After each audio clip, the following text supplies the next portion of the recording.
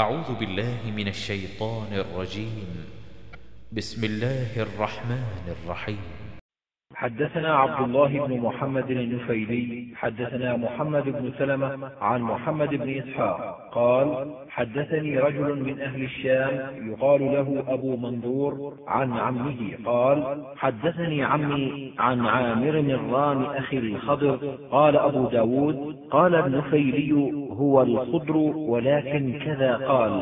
قال إني لببلادنا إذ رفعت لنا رايات وألوية. فقلت ما هذا؟ قالوا هذا لواء رسول الله صلى الله عليه وسلم. فأتيته وهو تحت شجرة. قد بسط له كساء وهو جالس عليه وقد اجتمع إليه أصحابه. فجلست إليهم فذكر رسول الله صلى الله عليه وسلم الأسقام. فقال إن المؤمن إذا أصابه السقم ثم أعفاه الله منه. كان كفارة لما مضى من ذنوبه وموعظة له فيما يستقبل. وإن المنافق إذا مرض ثم أعفي كان كالبعير عقله أهله ثم أرسلوه. فلم يدر لم عقلوه ولم يدر لم أرسلوه. فقال رجل ممن حوله يا رسول الله وما الأسقام؟ والله ما مرضت قط. فقال رسول الله صلى الله عليه وسلم قم عنا. فلست منا فبينا نحن عنده إذ أقبل رجل عليه كساء وفي يده شيء قد التف عليه فقال يا رسول الله إني لما رأيتك أقبلت إليك فمررت بغيضة شجر فسمعت فيها أصوات فراق طائر فأخذتهن فوضعتهن في كسائي فجاءت أمهن فاستدارت على رأسي فكشفت لها عنهن فوقعت عليهن معهن فلففتهن بكسائي فهن أولاء معي. قال ضعهن عنك فوضعتهن وأبت أمهن إلا لزومهن. أتعجبون لرحم أم الأفراخ فراخها؟ قالوا نعم يا رسول الله صلى الله عليه وسلم. قال فوالذي بعثني بالحق لله أرحم بعباده من أم الأفراخ بفراخها. ارجع بهن حتى تضعهن من حيث أخذتهن وأمهن معهن. فرجع بهن. حدثنا عبد الله بن محمد النفيلي وإبراهيم بن مهدي المصيصي المعنى قال حدثنا أبو المليح عن محمد بن خالد قال أبو ب داود قال إبراهيم بن مهدي السلمي عن أبيه عن جده وكانت له صحبة من رسول الله صلى الله عليه وسلم. قال سمعت رسول الله صلى الله عليه وسلم يقول. إن العبد إذا سبقت له من الله منزلة لم يبلغها بعمله ابتلاه الله في جسده أو في ماله أو في ولده. قال أبو ب داود زاد ابن نفيل ثم صبره على ذلك ثم اتفقا حتى يبلغه المنزلة التي سبقت له من الله تعالى. حدثنا محمد بن عيسى ومسدد المعنى قالا حدثنا هشيم عن العوام بن حوشب عن إبراهيم بن عبد الرحمن السكسكي عن أبي بردة عن أبي موسى قال سمعت النبي صلى الله عليه وسلم غير مرة ولا مرتين يقول إذا كان العبد يعمل عملا صالحا فشغله عنه مرض أو سفر كتب له كصالح ما كان يعمل وهو صحيح مقيم. حدثنا سهل بن بكار عن أبي عوانة عن عبد الملك بن عمير عن أم العلاء قالت عادني رسول الله صلى الله عليه وسلم وأنا مريضة فقال أبشري يا أم العلاء فإن مرض المسلم يذهب الله به خطاياه كما تذهب النار خبث الذهب والفضة. حدثنا مسدد حدثنا يحيى وحدثنا محمد بن بشار حدثنا عثمان بن عمر. قال أبو ب داود وهذا لفظ ابن بشار عن أبي عامر الخزاز عن ابن أبي مليكة. عن عائشة قال قلت يا رسول الله إني لأعلم أشد آية في القرآن.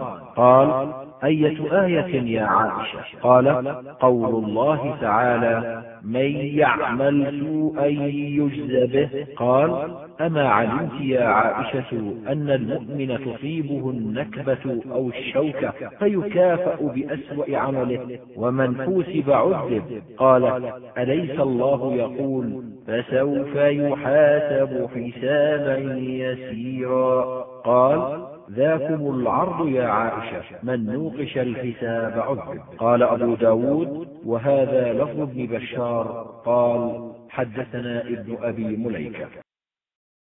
حدثنا عبد العزيز بن يحيى حدثنا محمد بن سلمة عن محمد بن إسحاق عن الزهري عن عروة عن أسامة بن زيد قال خرج رسول الله صلى الله عليه وسلم يعود عبد الله بن أبي في مرضه الذي مات فيه فلما دخل عليه عرف فيه الموت. قال قد كنت أنهاك عن حب يهود. قال فقد أبغضهم سعد بن زرارة فمه فلما مات أتاه ابنه فقال يا رسول الله إن عبد الله بن أبي قد مات فأعطني قميصك أكفنه فيه. فنزع رسول الله صلى الله عليه وسلم قميصه فأعطاه إياه. حدثنا سليمان بن حرب حدثنا حماد يعني ابن زيد عن ثابت عن أنس أن غلاما من اليهود كان مرض فأتاه النبي صلى الله عليه وسلم يعوده فقعد عند رأسه فقال له أسلم. فنظر إلى أبيه وهو عند رأسه فقال له أبوه أطع أبا القاسم. فأسلم. فقام النبي صلى الله عليه وسلم وهو يقول الحمد لله الذي أنقذه بي. من النار. حدثنا أحمد بن حنبل حدثنا عبد الرحمن بن مهدي عن سفيان عن محمد بن المنكدر عن جابر قال كان النبي صلى الله عليه وسلم يعودني ليس براكب بغل ولا برذول حدثنا محمد بن عوف الطائي حدثنا الربيع بن روح بن خليل حدثنا محمد بن خالد حدثنا الفضل بن دلهم الواسطي عن ثابت البناني عن أنس بن مالك قال قال رسول الله صلى الله عليه وسلم من توضأ فأحسن الوضوء وعاد أخاه المسلم محتسبا بوعد من جهنم مسيرة سبعين خريفا. قلت يا أبا حمزة وما الخريف؟ قال العام. قال أبو ب داود والذي تفرد به البصريون منه العيادة وهو متوضئ. حدثنا محمد بن كثير أخبرنا شعبة عن الحكم عن عبد الله بن نافع. عن علي قال ما من رجل يعود مريضا ممسيا إلا خرج معه سبعون ألف ملك يستغفرون له حتى يصبح. وكان له خريف في الجنة. ومن أتاه مصبحا خرج معه سبعون ألف ملك يستغفرون له حتى يمسي. وكان له خريف في الجنة. حدثنا عثمان بن أبي شيبة حدثنا أبو معاوية قال حدثنا الأعمش عن الحكم عن عبد الرحمن بن أبي ليلى عن علي عن النبي صلى الله عليه وسلم بمعناه لم يذكر الخريف. قال أبو ب داود رواه منصور عن الحكم كما رواه شعبة. حدثنا عثمان بن أبي شيبة حدثنا عبد الله بن نمير عن هشام بن عروة عن أبيه. عن عائشة قالت لما أصيب سعد بن معاذ يوم الخندق. رماه رجل في الأكحل فضرب عليه رسول الله صلى الله عليه وسلم خيمة في المسجد ليعوده من قريب. حدثنا عبد الله بن محمد النفيلي حدثنا حجاج بن محمد عن يونس بن أبي إسحاق عن أبي عن زيد بن أرقم قال عادني رسول الله صلى الله عليه وسلم من وجع كان بعيني. حدثنا القعنبي عن مالك عن ابن شهاب عن عبد الحميد بن عبد الرحمن بن زيد بن الخطاب عن عبد الله بن عبد الله بن الحارث بن نوفل عن عبد الله بن عباس قال قال عبد الرحمن بن عوف سمعت رسول الله صلى الله عليه وسلم يقول إذا سمعتم به بأرض فلا تقدموا عليه وإذا وقع بأرض وأنتم بها فلا تخرجوا فرارا منه يعني الطاعون حدثنا هارون بن عبد الله حدثنا مكي بن إبراهيم حدثنا الجعيد عن عائشة بنت سعد أن أباها قال اشتكيت بمكة فجاءني النبي صلى الله عليه وسلم يعودني ووضع يده على جبهتي ثم مسح صدري وبطني ثم قال اللهم اشف سعدا وأتمم له هجرته حدثنا ابن كثير قال حدثنا سفيان عن منصور عن أبي وائل عن أبي موسى الأشعري قال قال رسول الله صلى الله عليه وسلم أطعموا الجائع وعودوا المريض وفكوا العاني قال سفيان والعاني الأسير. حدثنا الربيع بن يحيى حدثنا شعبة حدثنا يزيد أبو خالد عن المنهال بن عمرو عن سعيد بن جبير عن ابن عباس عن النبي صلى الله عليه وسلم قال من عاد مريضا لم يحضر أجله فقال عنده سبع مرار أسأل الله العظيم رب العرش العظيم أن يشفيك إلا عافاه الله من ذلك المرض. حدثنا يزيد بن خالد الرملي حدثنا ابن وهب عن حيي بن عبد الله عن أبي عبد الرحمن الحبلي عن ابن عمرو قال قال النبي صلى الله عليه وسلم إذا جاء الرجل يعود مريضا فليقل اللهم اشف عبده ينكأ لك عدوا أو يمشي لك إلى جنازة. قال أبو ب داود وقال ابن السرح إلى صلاة. حدثنا بشر بن هلال حدثنا عبد الوارث عن عبد العزيز بن صهيب عن أنس بن مالك قال قال رسول الله صلى الله عليه وسلم لا يدعون أحدكم بالموت لضر نزل به ولكن ليقل اللهم أحيني ما كانت الحياة خيرا لي وتوفني إذا كانت الوفاة خيرا لي. حدثنا محمد بن بشار حدثنا أبو ب داود حدثنا شعبة عن قتادة عن أنس بن مالك أن النبي صلى الله عليه وسلم قال لا يتمنين أحدكم الموت فذكر مثله. حدثنا مسدد حدثنا يحيى عن شعبة عن منصور عن تميم بن سلمة أو سعد بن عبيدة عن عبيد بن خالد السلمي رجل من أصحاب النبي صلى الله عليه وسلم قال مرة عن النبي صلى الله عليه وسلم ثم قال مرة عن عبيد قال موت الفجأة أخذة أسف حدثنا القعنبي عن مالك عن عبد الله بن عبد الله بن جابر بن عتيك عن عتيك بن الحارث بن عتيك وهو جد عبد الله بن عبد الله أبو أمه أنه أخبره أن عمه جابر بن عتيك أخبره أن رسول الله صلى الله عليه وسلم جاء يعود عبد الله بن ثابت فوجده قد غلب فصاح به رسول الله صلى الله عليه وسلم فلم يجبه فاسترجع رسول الله صلى الله عليه وسلم وقال غلبنا عليك يا أبا الربيع. فصاح النسوة وبكين فجعل ابن عتيك يسكتهن. فقال رسول الله صلى الله عليه وسلم دعهن فإذا وجب فلا تبكين باكية. قالوا وما الوجوب يا رسول الله؟ قال الموت. قالت ابنته والله إن كنت لأرجو أن تكون شهيدا فإنك كنت قد قضيت جهادا. قال رسول الله صلى الله عليه وسلم إن الله عز وجل قد أوقع أجره على قدر نيته وما تعدون الشهادة. قالوا القتل في سبيل الله تعالى. قال رسول الله صلى الله عليه وسلم الشهادة سبع سوى القتل في سبيل الله المطعون شهيد والغرق شهيد وصاحب ذات الجنب شهيد والمبطون شهيد وصاحب الحريق شهيد والذي يموت تحت الهدم شهيد والمرأة تموت بجمع شهيد.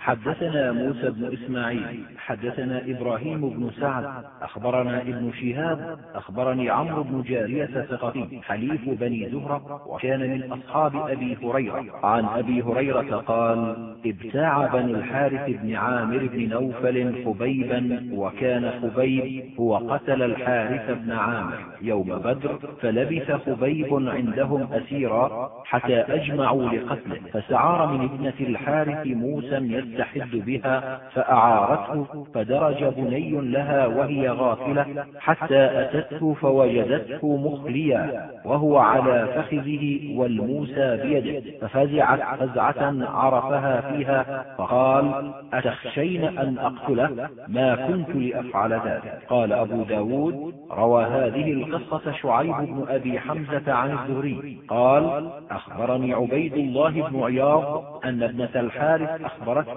أنهم حين اجتمعوا يعني لقتله استعار منها موسى يستحد بها فأعارته حدثنا مسدد حدثنا عيسى بن يونس حدثنا الأعمش عن أبي سفيان عن جابر بن عبد الله قال سمعت رسول الله صلى الله عليه وسلم يقول قبل موته بثلاث قال لا يموت أحدكم إلا وهو يحسن الظن بالله.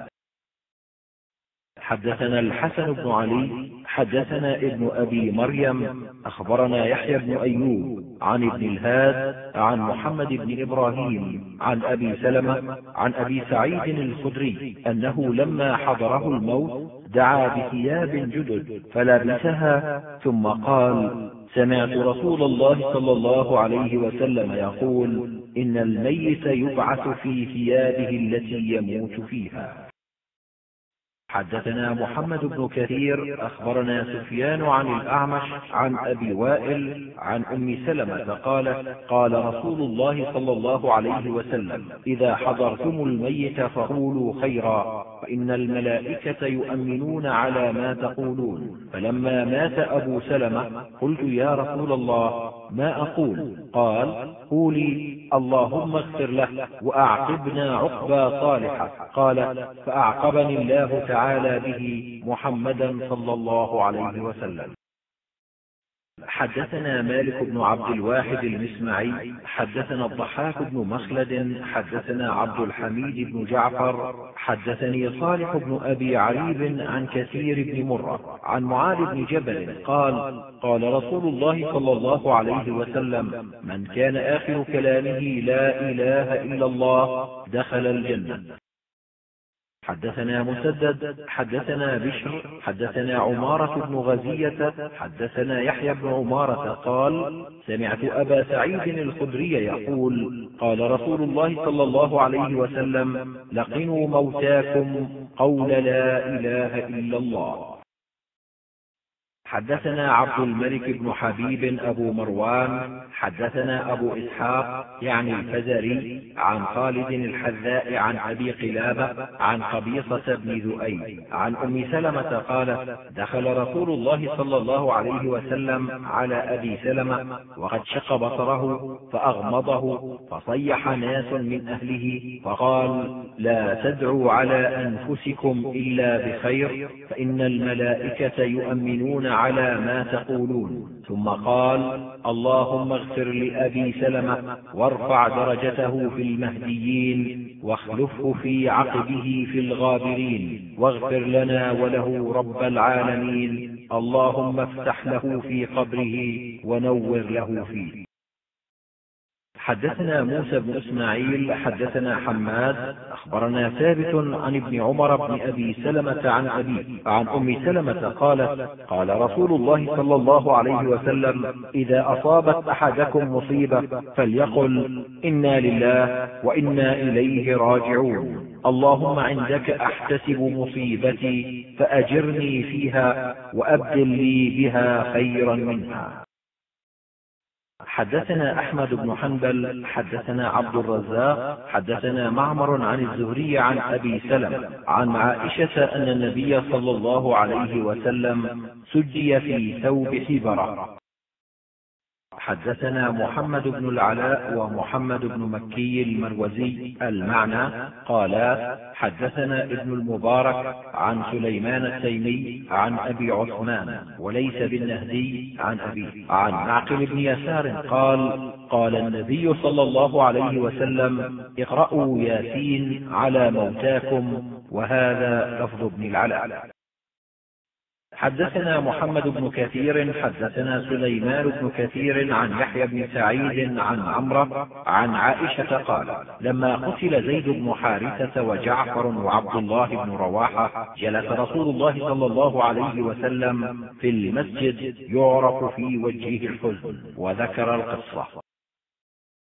حدثنا يزيد بن خالد بن عبد الله بن موهب الهمداني حدثنا المفضل عن ربيعة بن سيف المعافري عن أبي عبد الرحمن الحبلي عن عبد الله بن عمرو بن العاص قال قبرنا مع رسول الله صلى الله عليه وسلم يعني ميتا فلما فرغنا انصرف رسول الله صلى الله عليه وسلم وانصرفنا معه. فلما حاذى بابه وقف فإذا نحن بامرأة مقبلة قال أظنه عرفها. فلما ذهبت إذا هي فاطمة عليها السلام فقال لها رسول الله صلى الله عليه وسلم ما أخرجك يا فاطمة من بيتك؟ فقالت أتيت يا رسول الله أهل هذا البيت فرحمت إليهم ميتهم أو عزيتهم به. فقال لها رسول الله صلى الله عليه وسلم فلعلك بلغت معهم الكدى قالت معاذ الله وقد سمعتك تذكر فيها ما تذكر.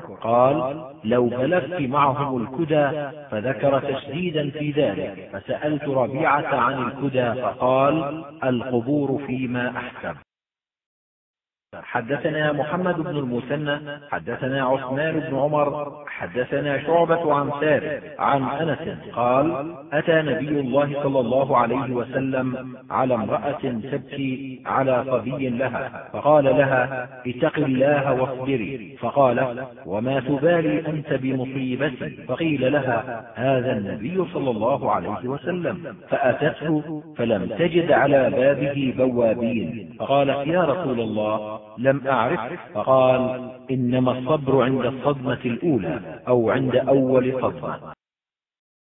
حدثنا أبو الوليد الطيالسي حدثنا شعبة عن عاصم الأحول قال سمعت أبا عثمان عن أسامة بن زيد أن ابنة لرسول الله صلى الله عليه وسلم أرسلت إليه وأنا معه وسعد وأحسب أبيا أن ابني أو ابنتي قد حضر فاشهدنا فأرسل يقرئ السلام فقال قل لله ما أخذ وما أعطى. وكل شيء عنده إلى أجل فأرسلت تقسم عليه فأتاها فوضع الصبي في حجر رسول الله صلى الله عليه وسلم ونفسه تقعقع ففاضت عينا رسول الله صلى الله عليه وسلم. فقال له سعد ما هذا؟ قال إنها رحمة وضعها الله في قلوب من يشاء وإنما يرحم الله من عباده الرحماء. حدثنا شيبان بن فروخ حدثنا سليمان بن المغيرة عن ثابت البناني عن أنس بن مالك قال قال رسول الله صلى الله عليه وسلم ولد لي الليلة غلام فسميته باسم أبي إبراهيم. فذكر الحديث قال أنس لقد رأيته يكيد بنفسه بين يدي رسول الله صلى الله عليه وسلم فدمعت عينا رسول الله صلى الله عليه وسلم فقال تدمع العين ويحزن القلب. ولا نقول إلا ما يرضي ربنا إنا بك يا إبراهيم لمحزونون حدثنا مسدد حدثنا عبد الوارث عن أيوب عن حفصة عن أم عطية قال إن رسول الله صلى الله عليه وسلم نهانا عن النياحة. حدثنا إبراهيم بن موسى أخبرنا محمد بن ربيعة عن محمد بن الحسن بن عطية عن أبيه عن جده عن أبي سعيد الخدري قال لعن رسول الله صلى الله عليه وسلم النائحة والمستمعة. حدثنا هناد بن السري عن عبدة وأبي معاوية المعنى عن هشام بن عروة عن أبيه عن ابن عمر قال قال رسول الله صلى الله عليه وسلم إن الميت ليعذب ببكاء أهله عليه. فذكر ذلك لعائشة فقالت وهل تعني ابن عمر؟ إنما مر النبي صلى الله عليه وسلم على قبر فقال إن صاحب هذا ليعذب وأهله يبكون عليه. ثم قرأت ولا تزر وازرة وزر أخرى. قال عن أبي معاوية على قبر يهودي. حدثنا عثمان بن أبي شيبة حدثنا جرير عن منصور عن إبراهيم عن يزيد بن أوس قال دخلت على أبي موسى وهو ثقيل فذهبت امرأته لتبكي أو تهم به فقال لها أبو موسى أما سمعت ما قال رسول الله صلى الله عليه وسلم؟ قالت بلى. قال فسكت فلما مات أبو موسى قال يزيد لقيت المرأة؟ فقلت لها ما قول أبي موسى لك؟ أما سمعت قول رسول الله صلى الله عليه وسلم ثم سكت؟ قال قال رسول الله صلى الله عليه وسلم ليس منا من حلق ومن سلق ومن خرق. حدثنا مسدد حدثنا حميد بن الأسود حدثنا الحجاج عامل لعمر بن عبد العزيز على الربلة حدثني أسيد بن أبي أسيد عن امرأة من المبايعات قال كان فيما أخذ علينا رسول الله صلى الله عليه وسلم في المعروف الذي أخذ علينا أن لا نعصيه فيه أن لا نخمش وجها ولا ندعو ويلا ولا نشق جيبا وأن لا ننشر شعرا. حدثنا مسدد حدثنا سفيان حدثني جعفر بن خالد عن أبيه عن عبد الله بن جعفر قال قال رسول الله صلى الله عليه وسلم اصنعوا لآل جعفر طعاما فإنه قد أتاهم أمر شغلهم. حدثنا قتيبة بن سعيد حدثنا معن بن عيسى وحدثنا عبيد الله بن عمر الجشمي حدثنا عبد الرحمن بن مهدي عن إبراهيم بن طحمان عن أبي الزبير عن جابر قال رمي رجل بسهم في صدره أو في حلقه فمات فأدرج في ثيابه كما هو. قال ونحن مع رسول الله صلى الله عليه وسلم. حدثنا زياد بن أيوب وعيسى بن يونس. قالا حدثنا علي بن عاصم عن عطاء بن السائب عن سعيد بن جبير عن ابن عباس قال أمر رسول الله صلى الله عليه وسلم بقتلى أحد أن ينزع عنهم الحديد والجلود وأن يدفنوا بدمائهم وثيابهم. حدثنا أحمد بن صالح حدثنا ابن وهب وحدثنا سليمان بن داود المهري أخبرنا ابن وهب وهذا لفظه أخبرني أسامة بن زيد الليثي أن ابن شهاب أخبره أن أنس بن مالك حدثهم أن شهداء أحد لم يغسلوا ودفنوا بدمائهم ولم يصل عليهم.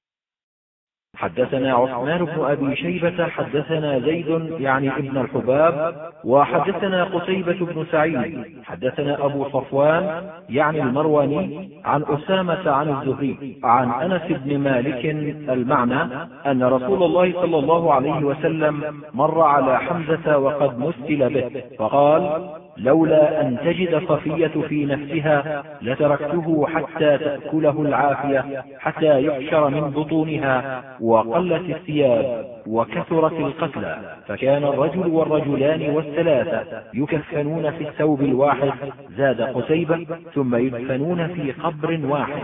فكان رسول الله صلى الله عليه وسلم يسأل أيهم أكثر قرآنا فيقدمه إلى القبلة. حدثنا عباس العنبري حدثنا عثمان بن عمر حدثنا أسامة عن الزهري عن أنس أن النبي صلى الله عليه وسلم مر بحمزة وقد مثل به ولم يصل على أحد من الشهداء غيره. حدثنا قتيبة بن سعيد ويزيد بن خالد بن موهب أن الليث حدثهم عن ابن شهاب عن عبد الرحمن بن كعب بن مالك أن جابر بن عبد الله أخبره أن رسول الله صلى الله عليه وسلم كان يجمع بين الرجلين من قتلى أحد ويقول أيهما أكثر أخذا للقرآن؟ فإذا أشير له إلى أحدهما قدمه في اللحم وقال أنا شهيد على هؤلاء يوم القيامة وأمر بدفنهم بدمائهم ولم يغسلوا. حدثنا سليمان بن داود المهري حدثنا ابن وهب عن الليث بهذا الحديث بمعناه قال يجمع بين الرجلين من قتلى أحد في ثوب واحد. حدثنا علي بن سهل الرملي حدثنا حجاج عن ابن جريج قال أخبرت عن حبيب بن أبي ثابت عن عاصم بن ضمرة عن علي أن النبي صلى الله عليه وسلم قال لا تبرز فخذك ولا تنظرن إلى فخذ حي ولا ميت. حدثنا النفيلي حدثنا محمد بن سلمة عن محمد بن إسحاق حدثني يحيى بن عباد عن أبيه عباد بن عبد الله بن الزبير قال سمعت عائشة تقول لما أرادوا غسل النبي صلى الله عليه وسلم قالوا والله ما ندري أنجرد رسول الله صلى الله عليه وسلم من ثيابه كما نجرد موتانا أم نغسله وعليه ثيابه فلما اختلفوا ألقى الله عليهم النوم حتى ما منهم رجل إلا وذقنه في صدره ثم كلمهم مكلم من ناحية البيت لا يدرون من هو أن اغسلوا النبي صلى الله عليه وسلم وعليه ثيابه. فقاموا إلى رسول الله صلى الله عليه وسلم فغسلوه وعليه قميصه يصبون الماء فوق القميص ويدلكونه بالقميص. دون أيديهم وكانت عائشة تقول لو استقبلت من أمري ما استدبرت ما غسله إلا نساؤه. حدثنا القعنبي عن مالك وحدثنا مسدد حدثنا حماد بن زيد المعنى عن أيوب عن محمد بن سيرين عن أم عطية قالت دخل علينا رسول الله صلى الله عليه وسلم حين توفيت ابنته فقال اغسلنها ثلاثا أو خمسا أو أكثر من ذلك إن رأيتن ذلك بماء وسدر واجعلن في الآخرة كافورا أو شيئا من كافور فإذا فرغتن فآذنني ولما فرغنا آذنا فأعطانا حقوه فقال أشعرنها إياه. قال عن مالك يعني إزارة ولم يقل مسدد دخل علينا. حدثنا أحمد بن عبدة وأبو كامل بمعنى الإسناد أن يزيد بن زريع حدثهم حدثنا أيوب عن محمد بن سيرين عن حفصة أخته عن أم عطية قالت مشطناها ثلاثة قرون.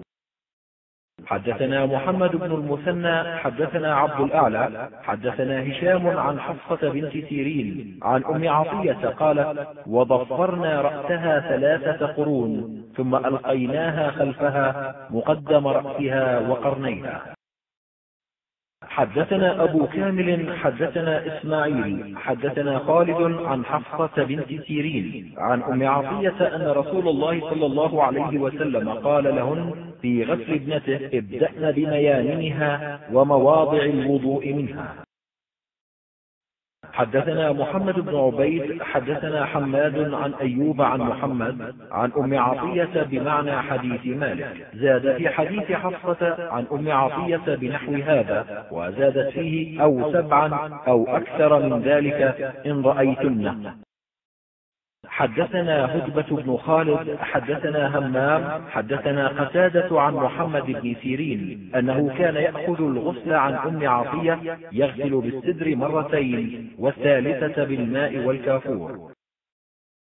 حدثنا أحمد بن حنبل حدثنا عبد الرزاق أخبرنا ابن جريج عن أبي الزبير أنه سمع جابر بن عبد الله يحدث عن النبي صلى الله عليه وسلم أنه خطب يوما فذكر رجلا من أصحابه قبض فكفن في كفن غير طائل وقبر ليلا فزجر النبي صلى الله عليه وسلم أن يقبر الرجل بالليل حتى يصلى عليه. إلا أن يضطر إنسان إلى ذلك. وقال النبي صلى الله عليه وسلم إذا كفن أحدكم أخاه فليحسن كفنه. حدثنا أحمد بن حنبل حدثنا الوليد بن مسلم حدثنا الأوزاعي حدثنا الزهري عن القاسم بن محمد عن عائشة قالت أدرج النبي صلى الله عليه وسلم في ثوب خبرة ثم أخر عنه. حدثنا الحسن بن الصباح البزاز حدثنا إسماعيل يعني ابن عبد الكريم حدثني إبراهيم بن عقيل بن معقل عن أبيه عن وهب يعني ابن منبه عن جابر قال سمعت رسول الله صلى الله عليه وسلم يقول إذا توفي أحدكم فوجد شيئا فليكفن في ثوب سبرة حدثنا أحمد بن حنبل حدثنا يحيى بن سعيد عن هشام قال أخبرني أبي أخبرتني عائشة قالت كفن رسول الله صلى الله عليه وسلم في ثلاثة أثواب يمانية بيض ليس فيها قميص ولا عمامة. حدثنا قتيبة بن سعيد حدثنا حفص عن هشام بن عروة عن أبيه عن عائشة مثله زاد من كرسف قال فذكر لعائشة قولهم في ثوبين وبرد حبرة فقالت قد أتي بالبرد ولكنهم ردوه ولم يكفنوه فيه. حدثنا أحمد بن حنبل وعثمان بن أبي شيبة قالا حدثنا ابن إدريس عن يزيد يعني ابن أبي زياد عن مقسم عن ابن عباس قال كفن رسول الله صلى الله عليه وسلم في ثلاثة أثواب نجرانية الحلة ثوبان وقميصه الذي مات فيه. قال أبو ب داود قال عثمان في ثلاثة أثواب حلة حمراء وقميصه الذي مات فيه. حدثنا محمد بن عبيد المحاربي حدثنا عمرو بن هاشم أبو مالك الجندي عن إسماعيل بن أبي خالد عن عامر عن علي بن أبي طالب قال لا تغال لي في كفن فإني سمعت رسول الله صلى الله عليه وسلم يقول لا تغالوا في الكفن فإنه يسلبه سلبا سريعا. حدثنا محمد بن كثير أخبرنا سفيان عن الأعمش عن أبي وائل عن خباب قال إن مصعب بن عمير قتل يوم أحد ولم يكن له إلا نمرة كنا إذا غطينا بها رأسه خرج رجلاه وإذا غطينا رجليه خرج رأسه. فقال رسول الله صلى الله عليه وسلم غطوا بها رأسه واجعلوا على رجليه شيئا من الإذخر حدثنا أحمد بن صالح حدثني ابن وهب حدثني هشام بن سعد عن حاتم بن أبي نصر عن عبادة بن نسي عن أبيه عن عبادة بن الصامت عن رسول الله صلى الله عليه وسلم قال خير الكفن الحلة وخير الأضحية الكبش الأقرن. حدثنا أحمد بن حنبل حدثنا يعقوب بن إبراهيم حدثني أبي عن ابن إسحاق حدثني نوح بن حكيم الثقفي وكان قارئا للقرآن عن رجل من بني عروة بن مسعود يقال له داود قد ولدته أم حبيبة بنت أبي سفيان زوج النبي صلى الله عليه وسلم أن ليلى بنت قانف الثقفية قالت كنت في من غسل أم كلثوم بنت رسول الله صلى الله عليه وسلم وسلم عند وفاتها. فكان أول ما أعطانا رسول الله صلى الله عليه وسلم الحقاء ثم الدرع ثم الخمار ثم الملحفة ثم أدرجت بعد في الثوب الآخر. قالت ورسول الله صلى الله عليه وسلم جالس عند الباب معه كفنها يناولناها ثوبا ثوبا. حدثنا مسلم بن إبراهيم حدثنا المستمر بن الريان عن أبي نضرة عن أبي سعيد الخدري قال قال رسول الله صلى الله عليه وسلم أطيب طيبكم المسك. حدثنا عبد الرحيم بن مطرف الرؤاسي أبو سفيان وأحمد بن جناب قالا حدثنا عيسى. قال أبو ب داود هو ابن يونس عن سعيد بن عثمان البلوي. عن عزرة وقال عبد الرحيم عروة بن سعيد الأنصاري عن أبيه عن الحصين بن وحوح أن طلحة بن البراء مرض فأتاه النبي صلى الله عليه وسلم يعوده فقال إني لا أرى طلحة إلا قد حدث فيه الموت فآذنوني به وعجلوا فإنه لا ينبغي لجيفة مسلم أن تحبس بين بحراني أهله حدثنا عثمان بن أبي شيبة حدثنا محمد بن بشر حدثنا زكريا حدثنا مصعب بن شيبة عن طلق بن حبيب العنزي عن عبد الله بن الزبير عن عائشة أنها حدثت أن النبي صلى الله عليه وسلم كان يغتسل من أربع من الجنابة ويوم الجمعة ومن الحجامة وغسل الميت. حدثنا أحمد بن صالح حدثنا ابن أبي فديك حدثني ابن أبي ذئب عن القاسم بن عباس عن عمرو بن عمير عن أبي هريرة أن رسول الله صلى الله عليه وسلم قال من غسل الميت فليغتسل ومن حمله فليتوضأ. حدثنا حامد بن يحيى عن سفيان عن سهيل بن أبي صالح عن أبيه عن إسحاق مولى زائدة عن أبي هريرة عن النبي صلى الله عليه وسلم بمعنى. قال أبو ب داود هذا منسوخ وسمعت أحمد بن حنبل وسئل عن الغسل من غسل الميت فقال يجزيه الوضوء. حدثنا محمد بن كثير أخبرنا سفيان عن عاصم بن عبيد الله عن القاسم عن عائشة قالت رأيت رسول الله صلى الله عليه وسلم يقبل عثمان بن مضعون وهو ميت حتى رأيت الدموع تسيل.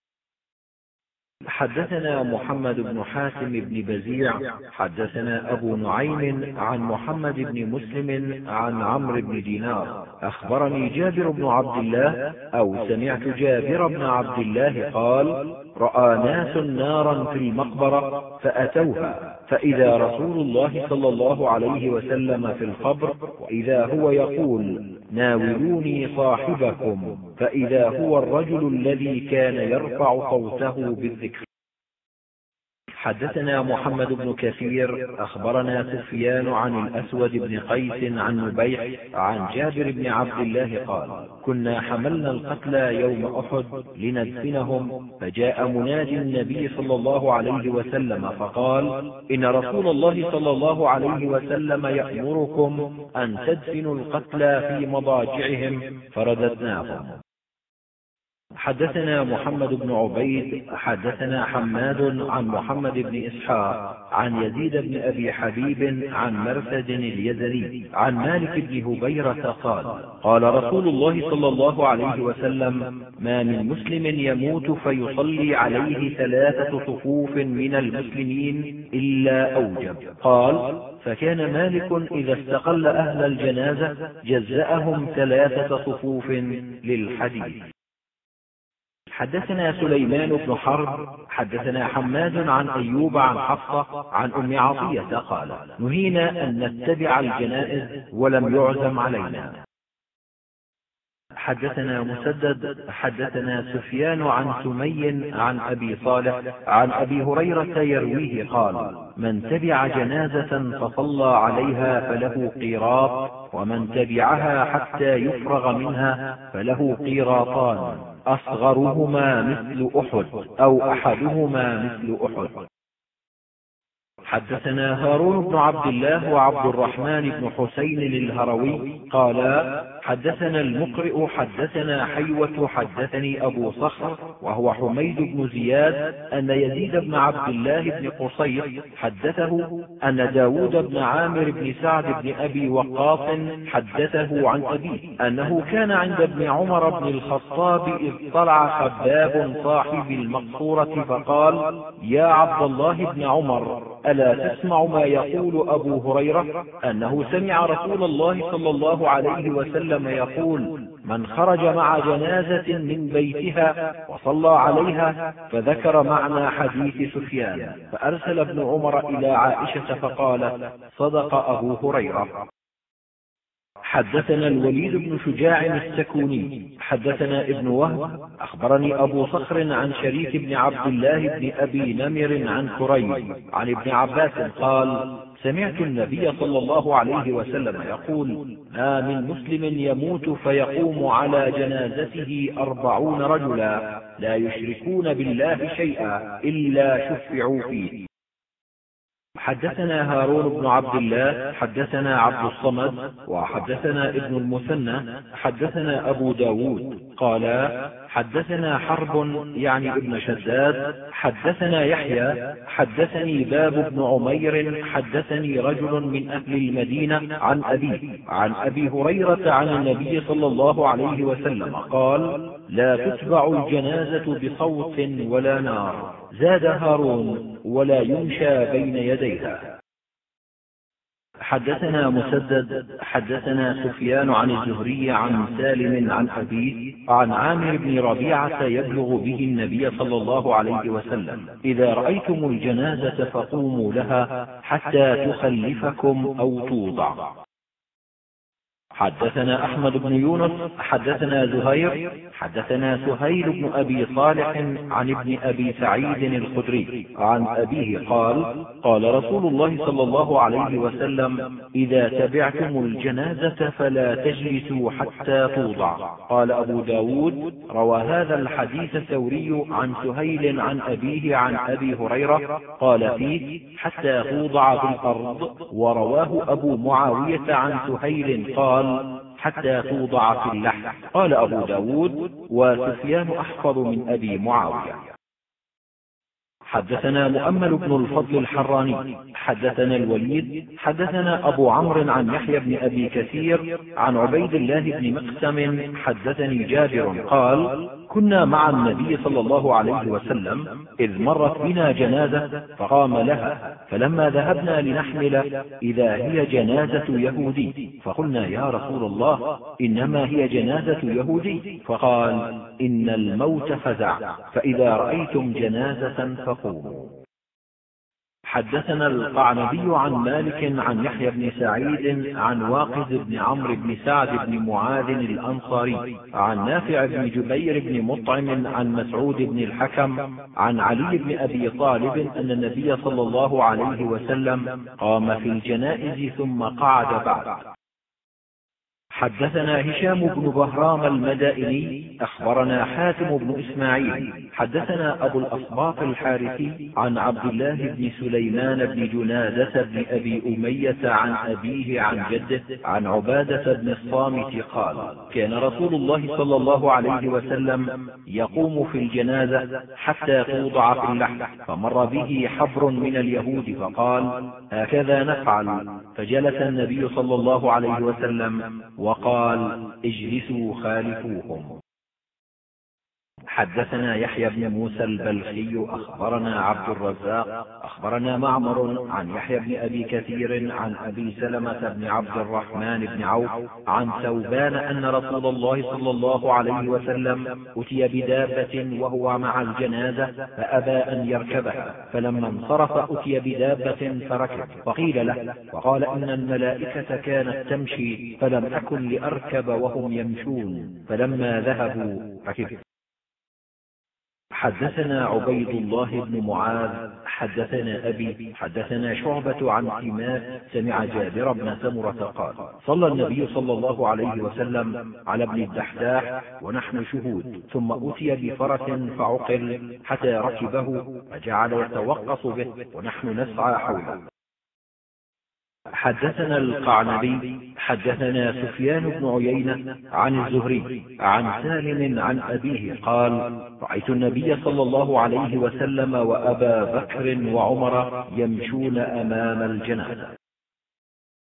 حدثنا وهب بن بقية عن خالد عن يونس عن زياد بن جبير عن أبي عن المغيرة بن شعبة وأحسب أن أهل زياد أخبروني أنه رفعه إلى النبي صلى الله عليه وسلم قال الراكب يسير خلف الجنازة والماشي يمشي خلفها وأمامها وعن يمينها وعن يسارها قريبا منها والسقط يصلى عليه ويدعى لوالديه بالمغفرة والرحمة. حدثنا مسدد حدثنا سفيان عن الزهري عن سعيد بن المسيب عن أبي هريرة يبلغ به النبي صلى الله عليه وسلم قال أسرعوا بالجنازة فإن تك صالحة فخير تقدمونها إليه وإن تك سوى ذلك فشر تضعونه عن رقابكم.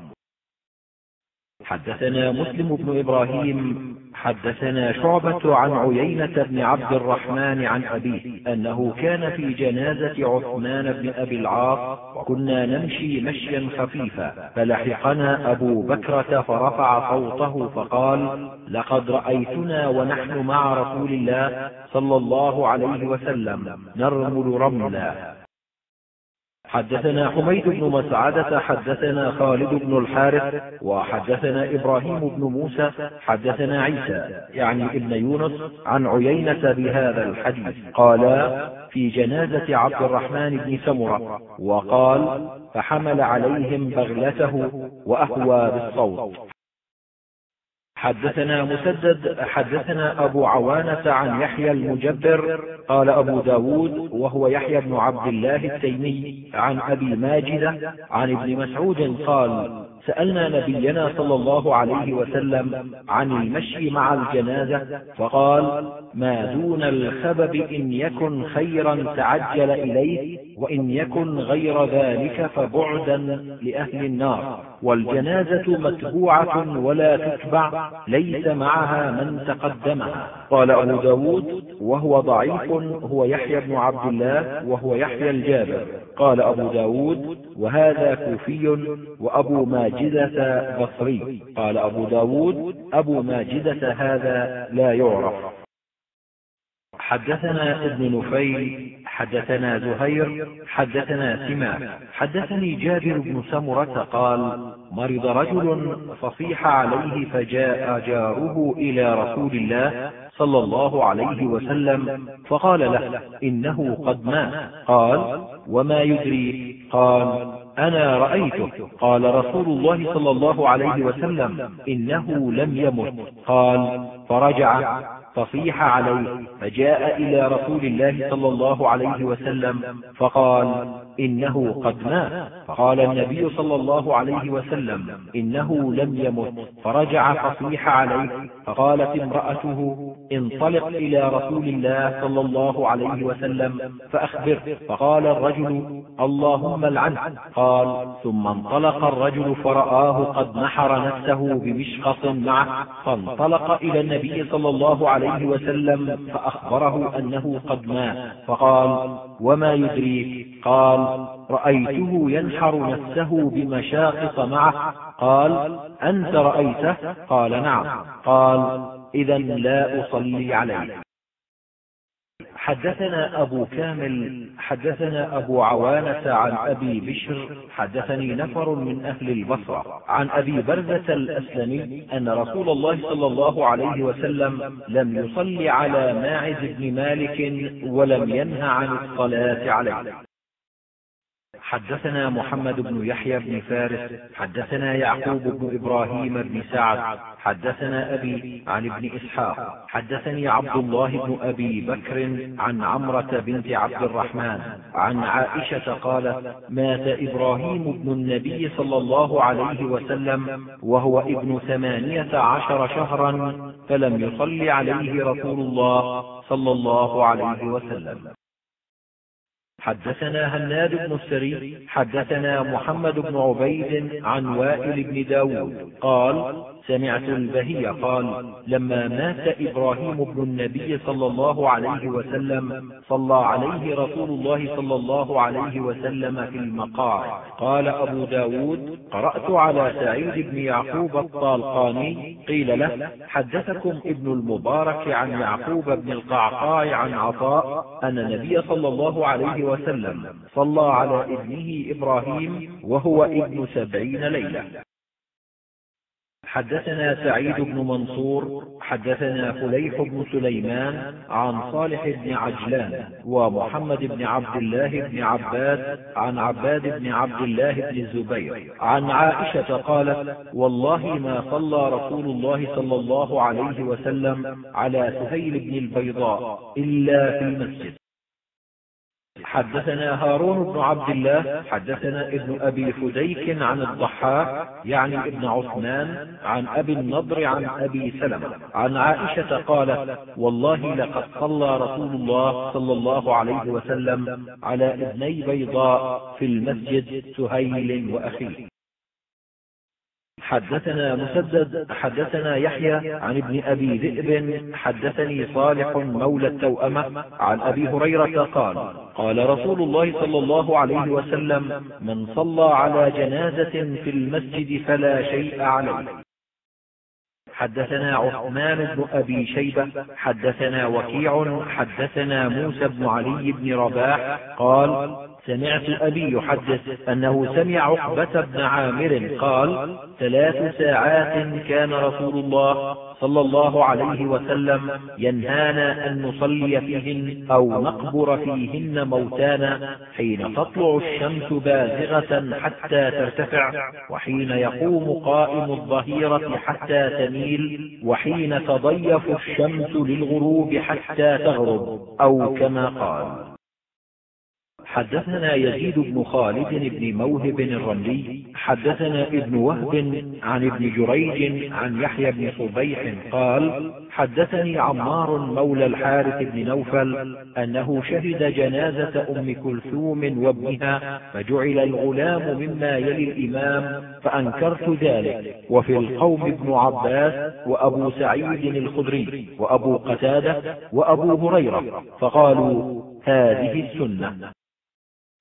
حدثنا داود بن معاذ حدثنا عبد الوارث عن نافع أبي غالب قال كنت في سكة المربد فمرت جنازة معها ناس كثير. قالوا جنازة عبد الله بن عمير فتبعتها فإذا أنا برجل عليه كساء رقيق على بريدينته وعلى رأسه خرقة تقيه من الشمس. فقلت من هذا الدهقان قالوا هذا أنس بن مالك فلما وضعت الجنازة قام أنس فصلى عليها وأنا خلفه لا يحول بيني وبينه شيء. فقام عند رأسه فكبر أربع تكبيرات لم يطل ولم يسرع ثم ذهب يقعد. فقالوا يا أبا حمزة المرأة الأنصارية. فقربوها وعليها نعش أخضر. فقام عند عجيزتها فصلى عليها نحو صلاته على الرجل. ثم جلس فقال العلاء بن زياد يا أبا حمزة هكذا كان رسول الله صلى الله عليه وسلم يصلي على الجنازة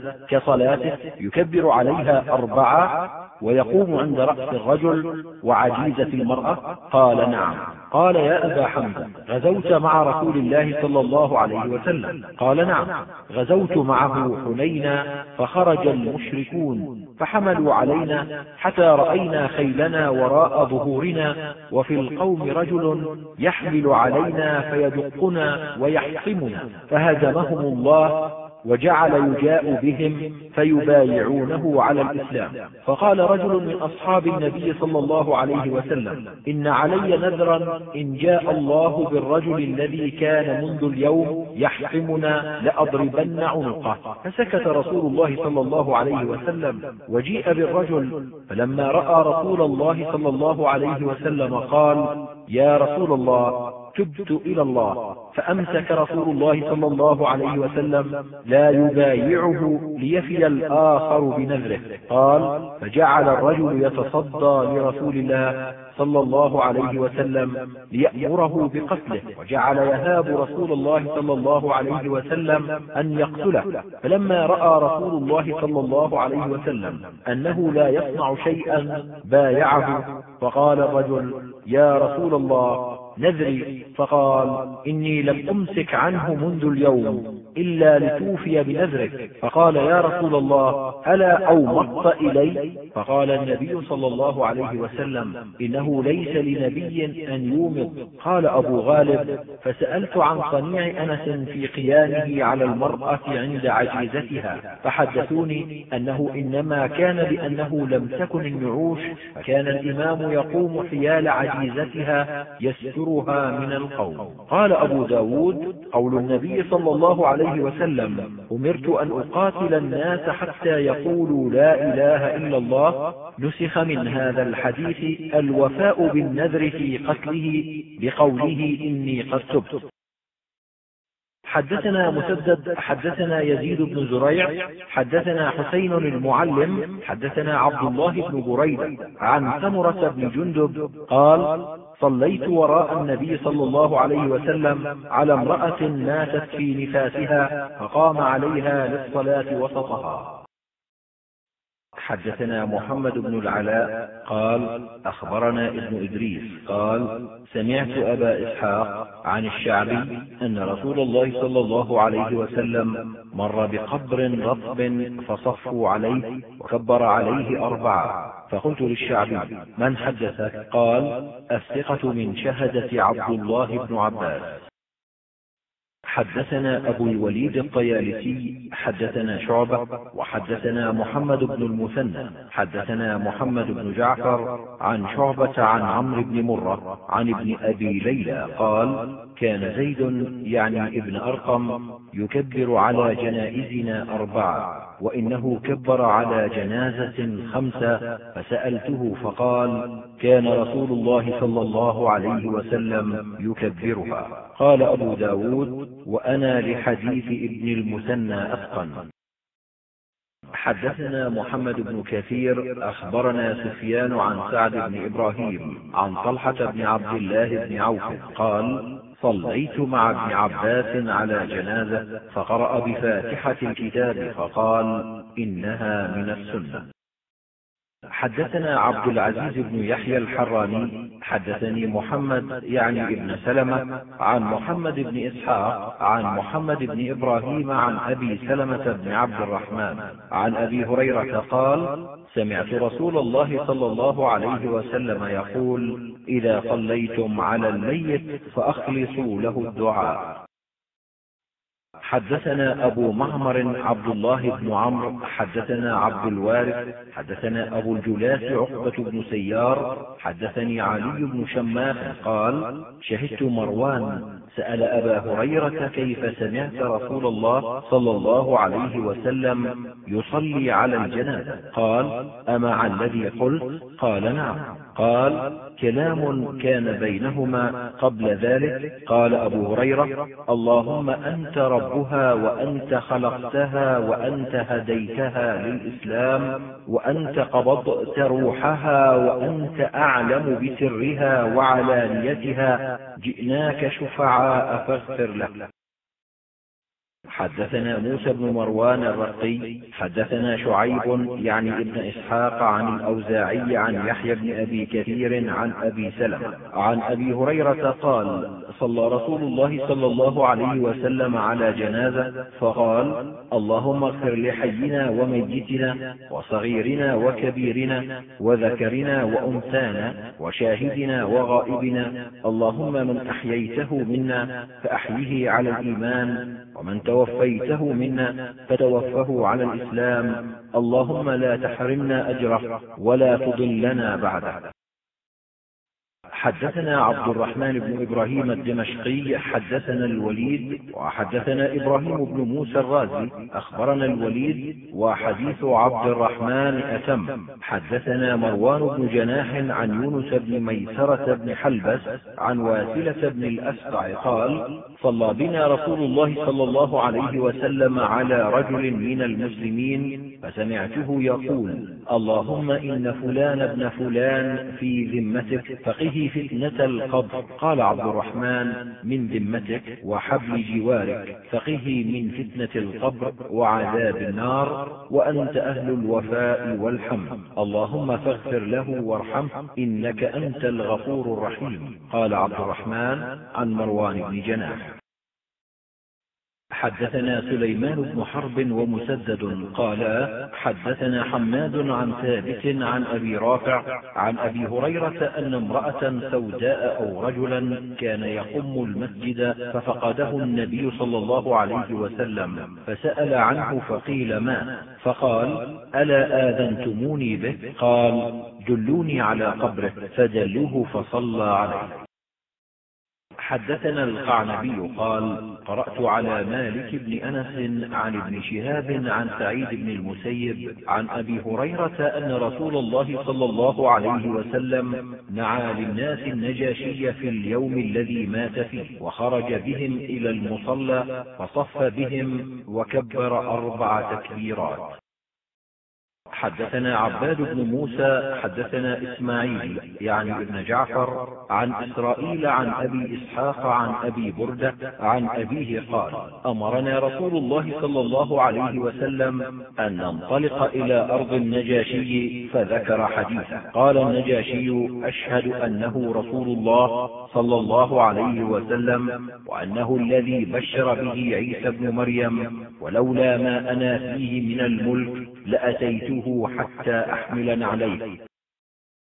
حدثنا عبد الوهاب بن نجدة حدثنا سعيد بن سالم وحدثنا يحيى بن الفضل السجستاني حدثنا حاكم يعني ابن إسماعيل بمعناه عن كثير بن زيد المدني عن المطلب قال لما مات عثمان بن مضعون أخرج بجنازته فدفن فأمر النبي صلى الله عليه وسلم رجلا أن يأتيه بحجر فلم يستطع حمله فقام إليها رسول الله صلى الله عليه وسلم وحسر عن ذراعيه قال كثير قال المطلب قال الذي يخبرني ذلك عن رسول الله صلى الله عليه وسلم قال كأني أنظر إلى بياض ذراعي رسول الله صلى الله عليه وسلم حين حسر عنهما ثم حملها فوضعها عند رأسه وقال أتعلم بها قبر أخي وأدفن إليه من مات من أهلي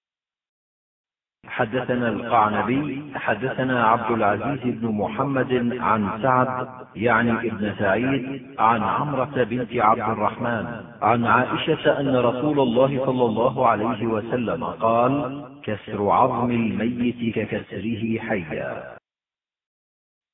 حدثنا إسحاق بن إسماعيل حدثنا حكام بن سلم عن علي بن عبد الأعلى عن أبيه عن سعيد بن جبير. عن ابن عباس قال قال رسول الله صلى الله عليه وسلم اللحد لنا والشق لغيرنا. حدثنا أحمد بن يونس حدثنا زهير حدثنا إسماعيل بن أبي خالد عن عامر قال غسل رسول الله صلى الله عليه وسلم علي والفضل وأسامة بن زيد وهم أدخلوه قبره. قال وحدثني مرحب أو ابن أبي مرحب أنهم أدخلوا معهم عبد الرحمن بن عوف فلما فرغ علي قال إنما يلي الرجل أهله. حدثنا محمد بن الصباح أخبرنا سفيان عن ابن أبي خالد عن الشعبي عن أبي مرحب أن عبد الرحمن بن عوف نزل في قبر النبي صلى الله عليه وسلم قال كأني أنظر إليهم أربعة. حدثنا عبيد الله بن معاذ حدثنا أبي حدثنا شعبة عن أبي إسحاق قال أوصى الحارث أن يصلي عليه عبد الله بن يزيد فصلى عليه ثم أدخله القبر من قبل رجلي القبر وقال هذا من السنة. حدثنا عثمان بن أبي شيبة حدثنا جرير عن الأعمش عن المنهال بن عمرو عن زاذان عن البراء بن عازب قال خرجنا مع رسول الله صلى الله عليه وسلم في جنازة رجل من الأنصار فانتهينا إلى القبر ولم يلحد بعد. فجلس النبي صلى الله عليه وسلم مستقبل القبلة وجلسنا معه. حدثنا محمد بن كثير وحدثنا مسلم بن إبراهيم. حدثنا همام عن قتادة عن أبي الصديق عن ابن عمر أن النبي صلى الله عليه وسلم كان إذا وضع الميت في القبر قال بسم الله وعلى سنة رسول الله صلى الله عليه وسلم. هذا لفظ مسلم. حدثنا مسدد حدثنا يحيى عن سفيان حدثني أبو إسحاق عن ناجية بن كعب عن علي عليه السلام قال قلت للنبي صلى الله عليه وسلم إن عمك الشيخ الضال قد مات. قال اذهب فوار أباك ثم لا تحدثن شيئا حتى تأتيني. فذهبت فواريته وجئته فأمرني فاغتسلت ودعاني. حدثنا عبد الله بن مسلمة القعنبي أن سليمان بن المغيرة حدثهم عن حميد يعني ابن هلال عن هشام بن عامر قال جاءت الأنصار إلى رسول الله صلى الله عليه وسلم يوم أحد فقالوا أصابنا قرح وجهد فكيف تأمرنا؟ قال احفروا وأوسعوا واجعلوا الرجلين والثلاثة في القبر. قيل فأيهم يقدم؟ قال أكثرهم قرآنا. قال أصيب أبي يومئذ عامر بين اثنين أو قال واحد. حدثنا أبو صالح يعني الأنطاكي أخبرنا أبو إسحاق يعني الفزري عن الثوري عن أيوب عن حميد بن هلال بإسناده ومعناه. زاد فيه وأعمقه. حدثنا موسى بن إسماعيل حدثنا جرير حدثنا حميد يعني ابن هلال عن سعد بن هشام بن عامر بهذا الحديث. حدثنا محمد بن كثير أخبرنا سفيان حدثنا حبيب بن أبي ثابت عن أبي وائل عن أبي هياج الأسدي قال بعثني علي قال لي أبعثك على ما بعثني عليه رسول الله صلى الله عليه وسلم أن لا أدع قبرا مشرفا إلا سويته ولا تمثالا إلا طمسته. حدثنا أحمد بن عمرو بن السرح حدثنا ابن وهب حدثني عمرو بن الحارث أن أبا علي الهمداني حدثه قال كنا مع فضالة بن عبيد برودس من أرض الروم فتوفي صاحب لنا فأمر فضالة بقبره فسوي ثم قال سمعت رسول الله صلى الله عليه وسلم يأمر بتسويتها. قال أبو ب داود رودس جزيرة في البحر. حدثنا أحمد بن صالح حدثنا ابن أبي فدي أخبرني عمرو بن عثمان بن هانئ عن القاسم. قال دخلت على عائشة فقلت يا أمة اكشفي لي عن قبر النبي صلى الله عليه وسلم وصاحبيه رضي الله عنهما. فكشفت لي عن ثلاثة قبور لا مشرفة ولا لاطئة مبطوحة لبطحاء العرصة الحمراء. قال أبو علي يقال إن رسول الله صلى الله عليه وسلم مقدم وأبو بكر عند رأسه وعمر عند رجليه رأسه عند رجلي رسول الله صلى الله عليه وسلم.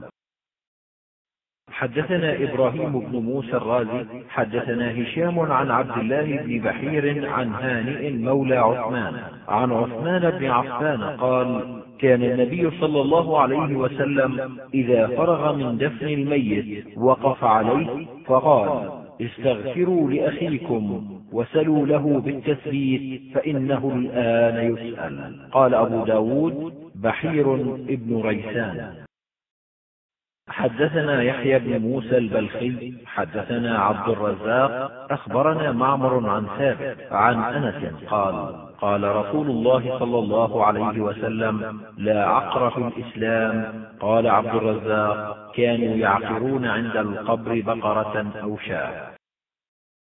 حدثنا قتيبة بن سعيد حدثنا الليث عن يزيد بن أبي حبيب عن أبي الخير عن عقبة بن عامر أن رسول الله صلى الله عليه وسلم خرج يوما فصلى على أهل أحد صلاته على الميت ثم انصرف.